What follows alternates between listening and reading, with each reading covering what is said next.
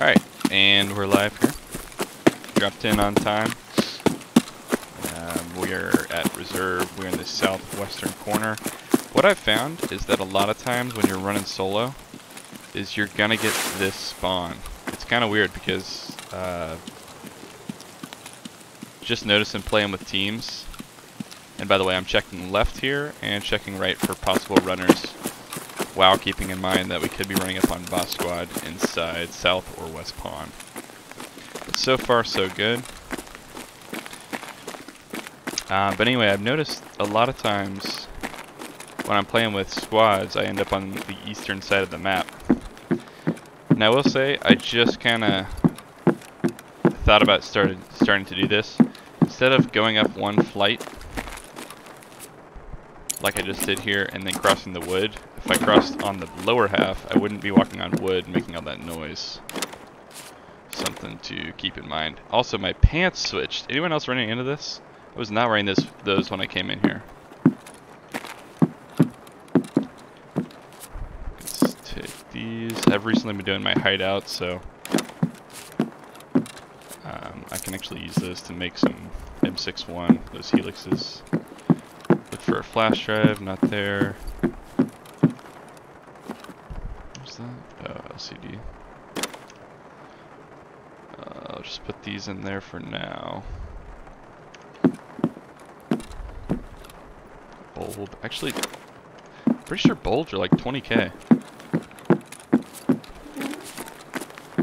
Anyway, instead of going across there and walking on wood being really loud, I think it's quieter to do this. Because then it could sound like you're outside right here. Anyway, I am in South Pawn, for those who don't know. And this is the Hilo courtyard, because there's two courtyards that we usually use for our call-offs on my teams. So this is the Hilo courtyard, hence the massive Hilo.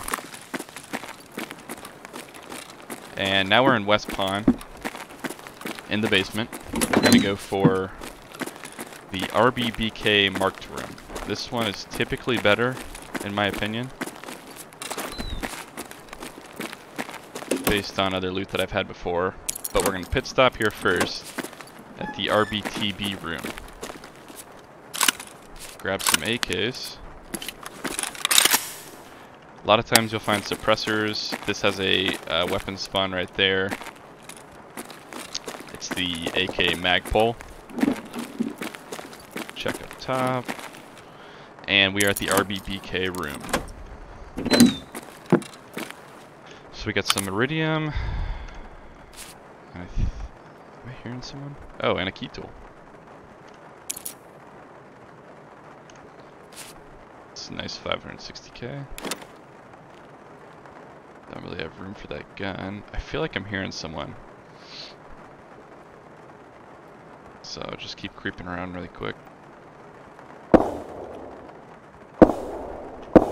Checking over here for gold chains. Uh, okay, what we can do here.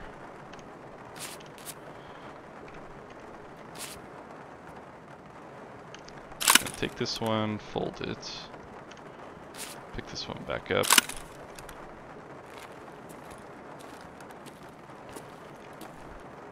And I think that's about everything.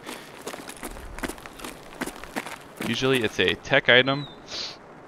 There's uh, loose ammo. There's usually a weapon, up to three. And some sort of a container. So, like for me, the key tool. But weapons cases are pretty common. And that's why I actually bring the Berkut or the Scav backpack. Because it is a 5 slot. The MBSS would be too small.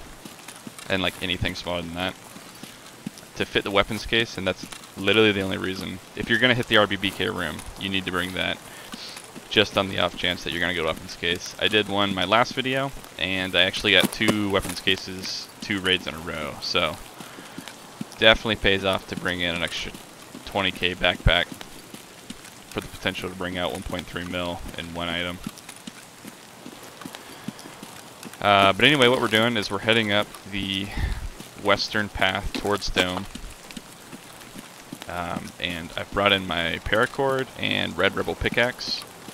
The paracord goes for about 150 and the Red Rebel I think hovers in between 2 and 3 mil. It's pretty expensive, but you do this route a couple times, and like in, for instance, when I got two weapons cases in a row, you've already paid for your Red Rebel. So from then on, it's just profit. Uh, but it is just the easiest way to get out of this map, in my opinion. And definitely the most covered. Uh, but what we're going to do here is we're hitting the RB KPRL room just on the way out. It's a nice little top off if it's not been hit yet, which it has not. You've got a little lockbox up top here that can spawn rare items. Like that GP, that's great. You get a weapons case.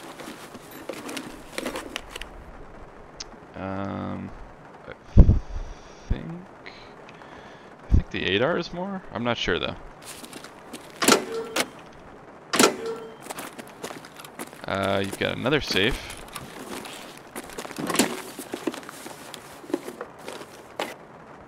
Just rubles this time. I don't think anything spawns in there as of yet. And no keys spawn as of yet. But there is potential for the future for uh, another patch. Another safe in this one. This one does not require a key. It's a great little room.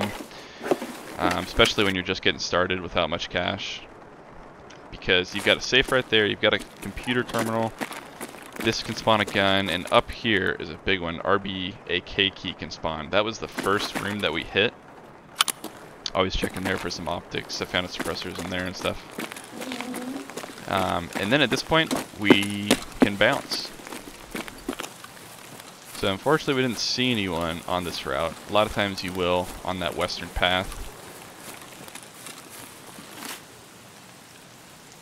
Oh, I thought I heard someone. A lot of times you go on that western path uh, when you're coming back up from RBBK, and a lot of times when you're hitting RBBK, people will be um, camping the room, waiting for you to like hear the turn of the key sound because it's super loud, and then they'll rush down and try and rush you. That's why you can, when you're turning the key, you can look back and fire back. Not going to be near as accurate as them, but it's still worth a shot. Um, yeah, see, I didn't go in there with these pants. And if anyone knows, I don't know what that bug is, but that'd be nice to not change pants every single raid and then not have them go in. I don't know what's going on. Uh, but overall, pretty good raid. Key tool um, is always nice. Graphics card. So let's go ahead and pull everything out of the SICC. And I think that is everything. We didn't fire a shot at all, but we didn't even fire one with our pistol, so we don't have to reload that, which is nice. We'll throw the graphics card up on the flea market really quick, because that typically will go for more. Geez, someone is... That's a steal for that one.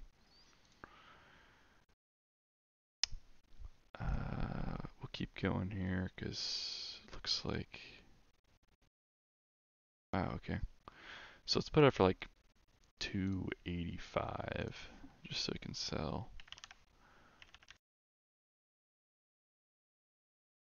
And then I think for the most part everything else can go straight to therapist. I don't think these are worth anything. And actually the key tool is going to be worth more going to therapist because I think it's only like 590 on the market. So if you take into account just for time's sake that one I can actually get more for. If anyone knows, actually, can you comment below? I do not know how to take out an item once you put it in. So, like for example, I just had to clear everything. It's not control for me, like holding down control to put everything in. Um, if you know, leave a comment down below. I would love to, because I've seen people do it, but I, just like that. See, I don't know how to pull it out once it's in there. So we'll sell those off, and then I'm pretty sure that this thing goes for... I may actually keep it because I'm in the process of upgrading all of my uh, hideout stuff, and I'm pretty sure I'm going to need this in the future, but it's will count like 30k towards the total. Put that in the junk box here. Okay, and graphics card just came through. Cool, so that was, um, and we'll add another 30k into that. Uh, we'll just round that up to 100. So that was 1.1 mil. Uh, pretty quick there in under 10 minutes. The raid itself was probably like seven or eight, and that was hitting South Pawn, which we hit the RBAK room, and I'll show you the key here. So this is the RBAK where we got the graphics card. We then hit RBTB, uh, which was where we got the two AKs, right before we went into RBBK, where we got the key tool. And then to top it off, we went to KPRL, which is where we got the GP um, and uh, the ADAR. So went through it in that order. That's typically how I run that route, especially when you get that southwestern uh, spawn on reserve. There's also a little bit closer one to the RBBK room. It's uh, completely west, just north of where we started. Um, that's a great one to start with RBBK. That way, if you get the weapons case, you can just scoot out right away. Um, but I always like, if I can, to hit this room just because of the the graphics card spawns. I've had up to three graphics cards there. Don't forget, um, you, you do need the paracord and the red roll pickaxe, as well as not wearing body armor on that route. Um, those are the requirements to use the cliff descent, just uh, to the north of Dome. And like I said, that's just a really easy way to um, do that loot run and then get out without being seen a lot of times. Like we didn't, we weren't seen there, but um, just an overall safe exit as opposed to when a lot of people do is run a hatchet run. Sometimes they'll do the same route I did with hitting queen. I'll, I'll show that. I've done that in other videos, but I can show that in the next one. Um, and they don't use a backpack. But like I said, I like using the backpack because a weapons case fits right in there. And that's it. I know this is a thick one, but the regular weapons case fits as well. It's it's the same uh, slot size. So um, yeah, if you guys like this video and you want to see more, drop a like. Uh, appreciate the feedback in the comment section below, what you guys want to see in future videos. Um, thanks for watching, and we'll see you in the next one. Peace.